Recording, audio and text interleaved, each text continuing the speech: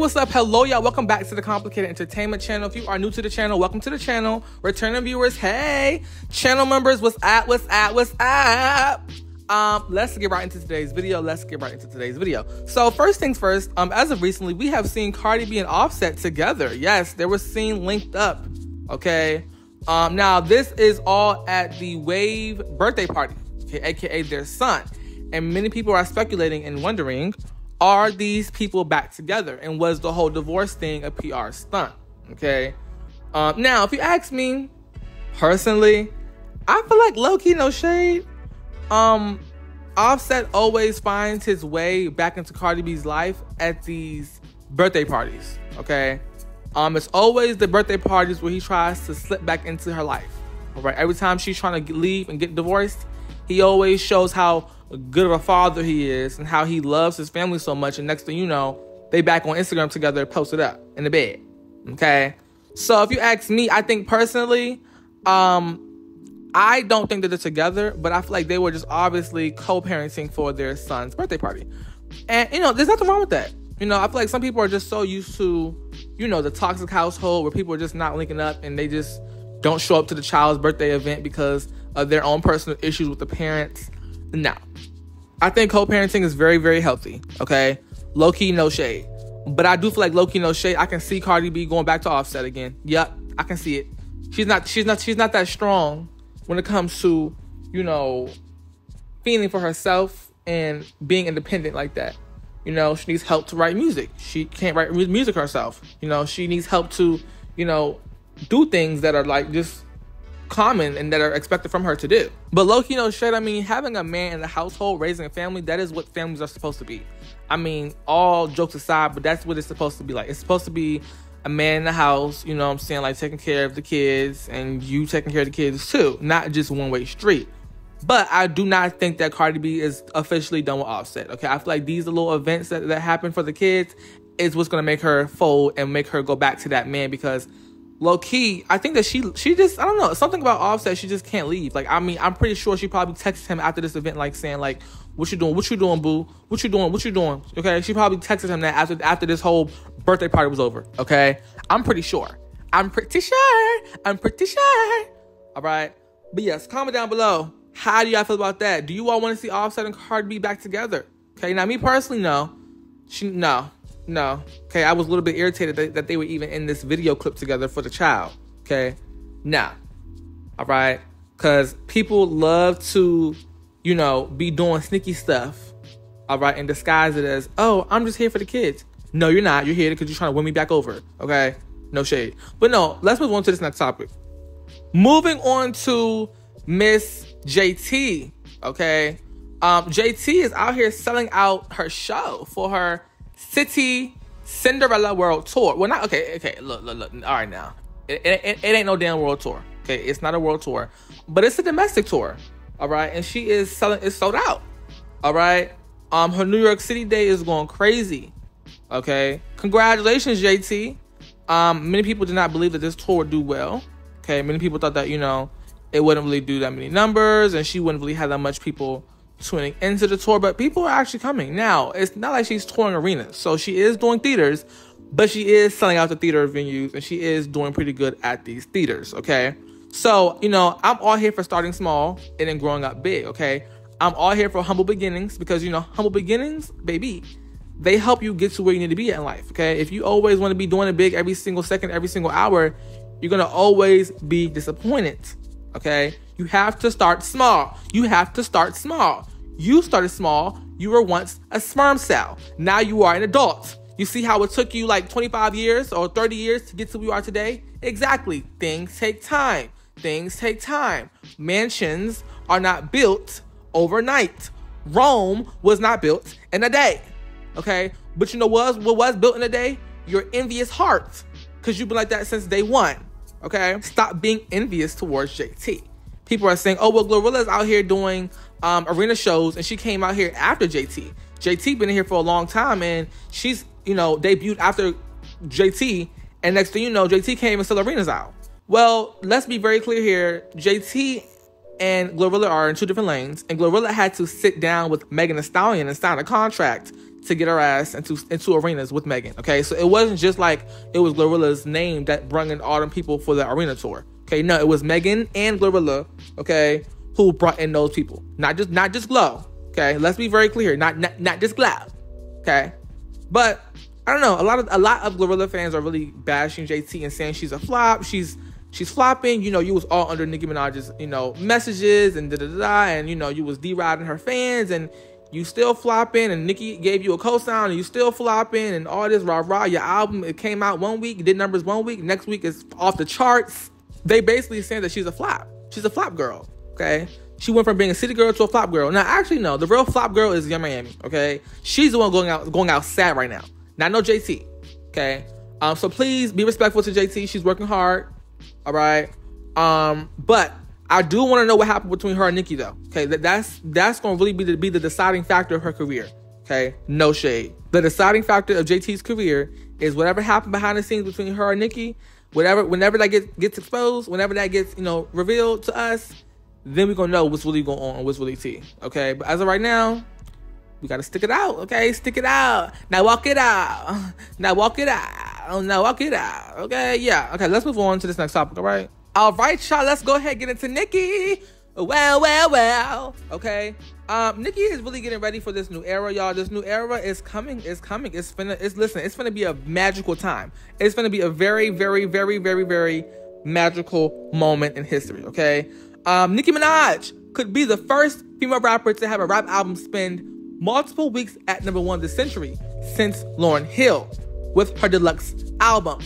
Okay. Um, she already was the first female rapper to debut solo at number one with SFG since Lauryn Hill um, in 2022. Okay. So the deluxe version of this album could make history. Do you all see it happening? Okay.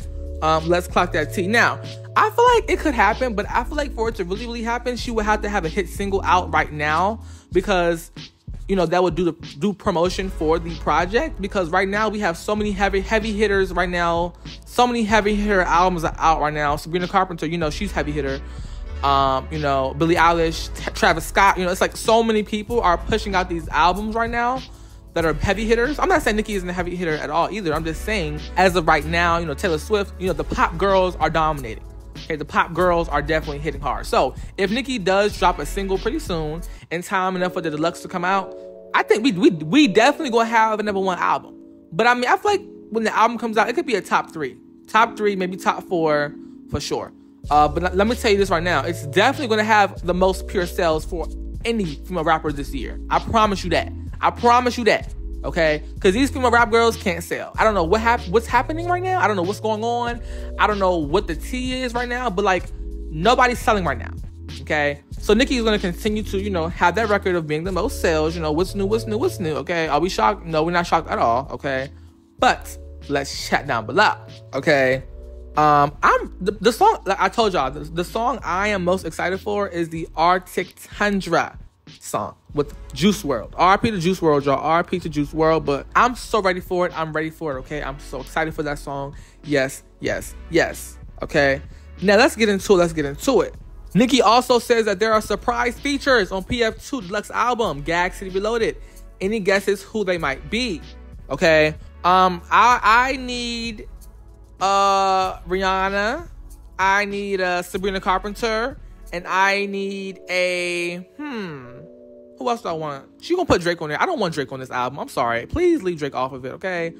Um, now me personally, um, I feel like Nicki be hyping up the features, and next thing you know, it'd be people like Skane and like Bia. No shade to them, but like nothing wrong with those artists at all. But it's like I just be thinking like, okay, girl, all right now. Oh, we need Ariana Grande. We need Ariani. Is it giving Ariani? Is it giving Ariani? It should be Nicki, okay? um people saying it's gonna be Akbar on this album. We don't want Akbar either. Okay, no shade, no shade to neither of them. Okay, we don't want neither. Uh, no shade. Okay, I'm seeing people want Kendrick Lamar. Um, Nicki wouldn't do that to Drake. Nicki would not do that to Drake. As much as Drake dogs out Nicki, Nicki would never do that to Drake. I'm sorry, Nicki. She's just too loyal. Okay, So she would never hop on here and do a Kendrick Lamar song. And I mean, it's just like, wow, no. Okay, she's just too, she's just too loyal. She's too sweet. She's too kind. Nicer than me. Okay, but yes, comment down below. What's y'all opinion on this? What's y'all opinion on that? Let's get into it. Let's get into it. Moving on to Rick Ross, aka Saucy Santana, aka Potato. Um, let's get into it. So apparently, as of recently, y'all, Saucy Santana is so messy. He's just so freaking messy. So there was a girl, okay, who was posting a um, video on her social media platforms, okay, and Saucy Santana goes in the comments of this girl's video and says he wants the woman to remove Nicki's song from her post and replace it with Latto's song, okay. So basically, he's saying that the girl needs to not use Nicki Minaj's music on her videos and just use Latto's music. What? What? Rick Ross, what are you talking about? Huh? What do you what do you mean, Rick Ross? What do you mean Maybach music? What do you mean Maybach music? Okay, I'm confused. Why would you go in this girl's comments and tell her that she can't use Nicki Minaj's music? Who are you? Who are you? It's always like it's always the gay best friends who are so messy. Like, you know, Latto and Saucy Santana are real cool, real close, real cool, right?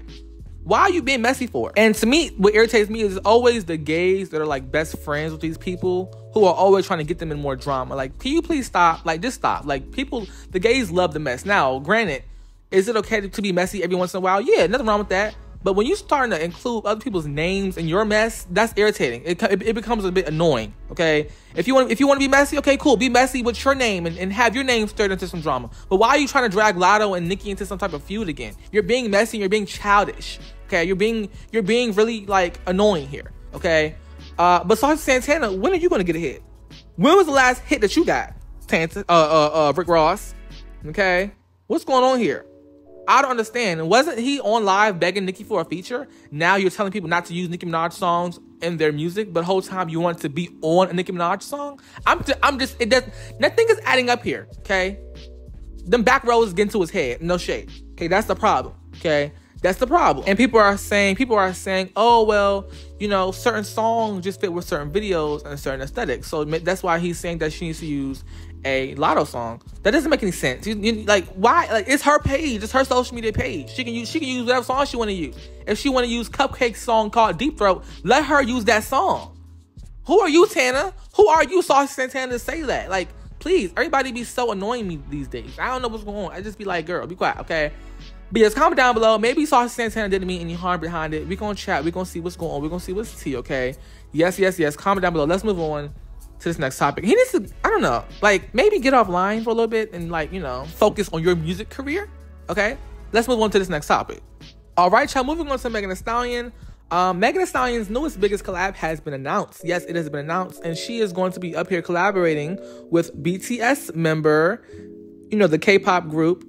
Um, and Megan Thee Stallion and RM of BTS new song "Neva Play" drops this Friday. Okay, Okay, so it seems like Megan Thee Stallion is trying to be more into the international market. I think she realized that her market is not American anymore. Her market is not United States of America. Um, recently, she had a hit song, the Japanese song, that went crazy viral. Now she's doing collaborations with BTS members. Okay, so she's trying to be an international artist, and this is this is important. I think this is very important because when she went into her international tour leg of her Hot Girl Bummer tour, I'm sorry, Hot Girl Summer tour I realized that like I think she noticed too that she's not an international act yet. She's not international yet. She is popping in America and you know Canada, all that stuff, right? But she's not popping overseas. So I feel like her getting more collaborations and more you know music out to that demographic will help her grow as an international artist. And I think she realized that. I think her and Roc Nation had a meeting and said, you know what, Megan, you need to be more you know, more cultural and more culturally inclusive to these other people who are not American, okay? And you cannot keep rapping about your butt, okay? Let's stop that right now. You cannot keep rapping about your bum bum because that's not gonna get you no mun mun. Okay, I mean it, it, will get you money on for like a short term, but like in the long run, it won't work. It just simply will not. It just can't. You know what I'm saying? It just won't work like that for real. But yeah, I can see Megan being an um, international act now. Uh, you know, she has this the song uh, I'm a star, I get money. Okay, but what I want her to really do is drop the freaky visuals. Okay, I'm sorry, but all that freaky stuff is cool, but it's, it's not going to get her to like. You're not pushing your creativity. If every every video is you naked, you're not pushing any boundary with your art. You're just naked with different backgrounds and themes. That's it. Like you need to change that up. Like for real. If you want to be this international big star, you have to like create different auras around your character. And if your character is always naked, there's no way we can play into the character because you don't have any you, you don't have any clothes on. So whatever character you play, you just naked. So it's like characters typically have certain colors, certain outfits, certain themes, certain aesthetics, certain vibes, but if the character is always naked, like we can't like you know what I'm saying? It don't make no sense. But yes. Um, comment down below. Can y'all see this little girl being a international act? Um, I can see it, yes. But like I said, she gonna have to switch up some things, you know, by the time she does, you know, want to be a mainstream international act, okay? Uh yes, comment down below let's move on to this next topic, okay? Okay, moving on to Doechii's new album. Um, her album is actually doing pretty decent. Okay, as you all may or may not know, but Doechii, um, she just dropped the album, yes, and people don't know that yet. People, a lot of people, do, a lot, a lot of people do not know that she dropped an album. Okay, um, and it's top ten on iTunes. Yes, okay. People are saying it is the best rap album that was released this year. Okay, um, okay, all right, okay. Uh, period, period, period. Um, alligator, alligator bites never heal.